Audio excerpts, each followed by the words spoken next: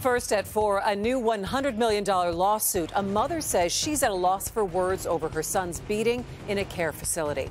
Plus, here's Kim. Well, the snow and rain have come to an end, but behind that system is some high winds. We've got 46 mile per hour gusts out at the airport. We'll talk about some cold temperatures on the way coming up.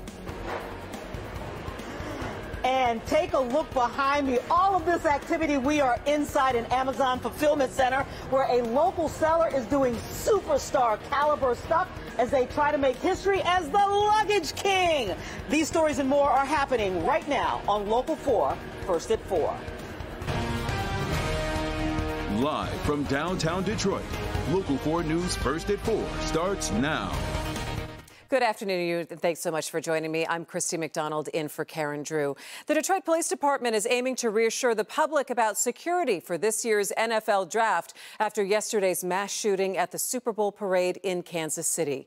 Chief James White was quick to point out that yesterday's parade was a local event not connected directly to the NFL. He spoke to reporters just a short time ago at the city's state of the art real time crime center. Now, Chief White says Detroit has been preparing for the draft for two years. He says solid plans are in place and he does not foresee many changes to Detroit's security operations. He cited partnerships with state, local, and federal agencies and listed how deep the operation will go. We've got uh, our liaisons that are in place, everything from our K9 units uh, to our air operations. There are things that you will not see. I mean, you will not you will not know where our helicopters are. You will not know uh, uh where our undercover operators operators are. You know, frankly, our undercover operators will be in jerseys and in the crowd. Uh, and they'll be moving and cheering like everyone else, but they'll also be reporting information to us that we need to know. The NFL draft comes to downtown Detroit in just a few months. It runs from April 25th to the 27th. And families across the country are tracking the story of that parade shooting in Kansas City. We're starting to get some answers as to why it happened. So let's get to Devin Scillian in the newsroom with the very latest for us today. Devin. Christy, we do know a bit more than we did 24 hours ago. Sadly, we've learned the number of those injured has doubled since what we knew at this time yesterday. We're also learning more about the woman who died and what may have sparked those terrifying moments for so many people. As we look at video of yesterday's chaos, police say it looks like some kind of dispute broke out. Several people getting into an argument, and that spiraled into the mass shooting. Three people have been detained, including two juveniles. Firearms were recovered, but police are calling for witnesses, uh, anybody with cell phone footage, hoping that more uh, people can come forward to help them put all the pieces together. It is still a very active investigation, but 22 people injured, half of them under the age of 16 shooting outside Kansas City's Union Station happened just as the Super Bowl parade was ending, with 800 police officers in that area. Today, one reporter asked the Kansas City mayor what many people are thinking. Listen to this. Chief, when do you hold another parade? Because I've talked to people that said they wouldn't come Here's the thing. We have a plan for a St. Patrick's Day parade in Kansas City. We have parades all the time. I don't think they'll end. Certainly, we recognize the public safety challenges at issue that relate to them. Yeah, so far, one death from the shooting. A Kansas City radio host, Lisa Lopez Galvan, had a show called Taste of Tejano. We're told she was very popular in Kansas City, leaves behind two adult children. A local lawmaker says he won't let her death be in vain and is promising to fight for gun reform. We are told the mayor himself had to run for safety when the shots rang out. He was at the parade with his wife and mother. The police chief uh, says it is likely that a million people were attending the parade in Kansas City and that this violence was caused, though, by just a handful. We'll have much more reaction, and of course, we'll continue to learn more as the investigation moves forward. Coming up, the latest at 5. Christy, back to you. All right. Thanks so much, Devin. In more news tonight, a local mother is filing a $100 million lawsuit over the beating of her 10 year old child. Take a look. Attorneys just released this video. They allege the child was beaten while being a resident at the Hawthorne Center that is currently operating out of the Walter P. Reuther Psychiatric Hospital in Westland. The child was admitted for mental and emotional issues last year, and the suit alleges that another 15 year old female patient attacked the 10 year old while five staff members encouraged the violence. For several seconds, she stomps and stomps and beats Princeton. She knocks his tooth up into his gum. Princeton has some brain damage behind this based on a brain imaging study. trusting the staff in this facility to take care of him, provide him with his needs because he's now under their care. And the fact that they were that negligent and responsible and did nothing to protect him, I, I, there's no words. And you can see Karen at the news conference. She is covering this story. The family is now asking why no one has been arrested and why the facility is still allowed to operate. Karen has covered other issues at Hawthorne before. She's going to continue our coverage on this story and much more tonight at 5 and 6. All right, a little bit earlier on today, around noon, a few of our cameras were showing the snow, but uh, this is a live look outside right now at Mount Clemens. Not of snow on the ground there, but the winds are the current problem. So let's head on over to Kim Adams, standing by with the very latest for us. Hi, Kim.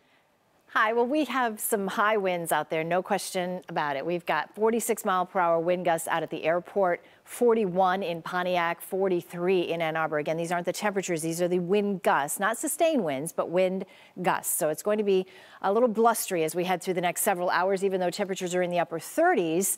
Definitely that wind is going to put a chill in the air as we will have falling temperatures later on tonight. But it is quiet on Exact Track 40 radar, so if you're headed home tonight or headed out and about, you'll be just fine. Tomorrow morning is going to be really cold, though, 25 degrees. Wind chills will be in the teens, and we only make it into the low 30s, even colder for Saturday. So I'll talk about your weekend forecast in just a few minutes. Yeah, we're not used to that. All right. Thanks so much, Kim. We'll see you in a few minutes. Attorneys for James Crumbley are fighting to get his trial moved about a week after his wife was convicted. The father of the Oxford High School shooter does not want his trial to take place in the same courtroom where Jennifer Crumbley was found guilty on four counts of involuntary manslaughter. He is facing the same charges for each student who died. Now, the motion argues that they won't be able to seat an impartial jury. A similar motion was rejected back in 2022, but that, of course, was before his wife's trial. A hearing is set to take that up next week. Well, police are now calling the shooting of that 15 year old boy inside the Westin Hotel in Southfield a homicide. The 15 year old named Tyler died last night after being shot in the head during an unsupervised sleepover at the hotel this weekend. Another 15 year old is facing charges for carrying concealed weapons, but the investigation into where the guns came from and who actually pulled the trigger is still ongoing. Well, Michigan is offering something new when it comes to voting. It is another tool that could make waiting in lines on Election Day a thing of the past. Today, the Secretary of State briefed us on the mechanics of early in person voting. It is happening for the first time ever in Michigan statewide starting this Saturday. You can visit an early voting site in your area. You'll put your ballot into a tabulator just like you would on Election Day, and then the votes are inserted into secure containers each night with the tallies added to the vote total on election night. Secretary of State Benson says her office will be working to support clerks during this historic change and has this message as well. Whatever option voters choose to cast their ballot, they should know that Michigan's elections are safe, secure, and that the results will be counted accurately. And you can read much more information online. Just go to the Secretary of State's website, search for early in person voting.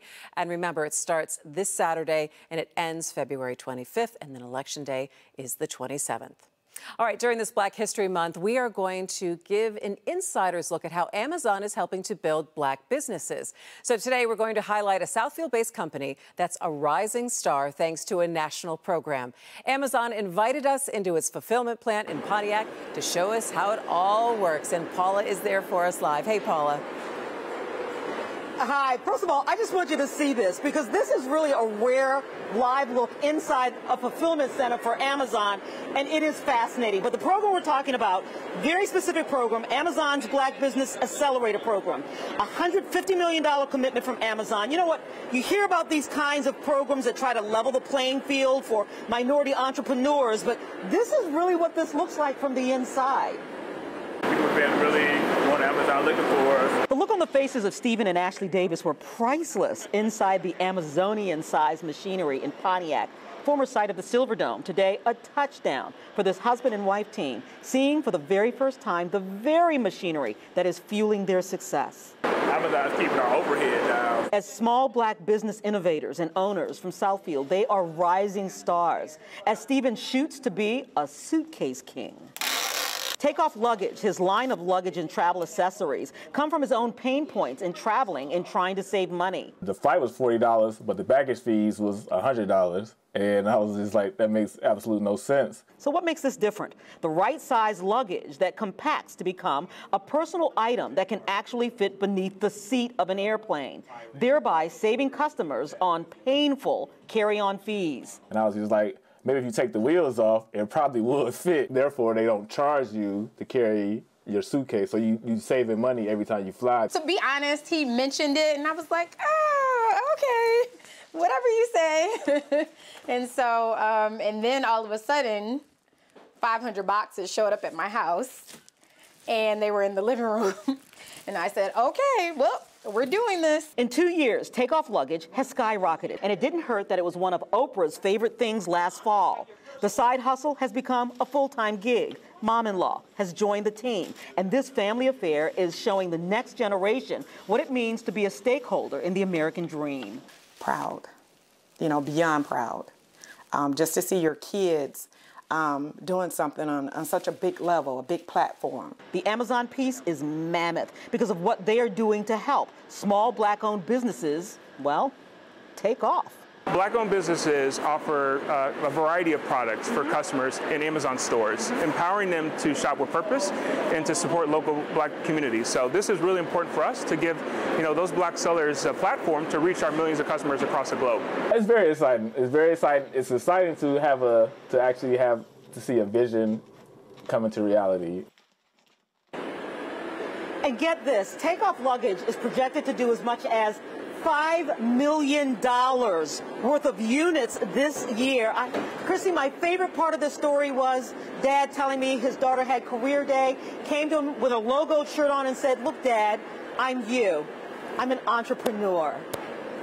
That is perfect, Paula. I love it. Thanks so much. What a that? great story. I absolutely do. There's a lot of entrepreneurs out there that will be inspired by this story as well. Thanks so much, Paula.